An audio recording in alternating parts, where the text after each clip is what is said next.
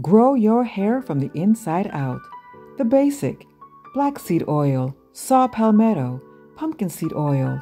Add green tea and collagen for a boost.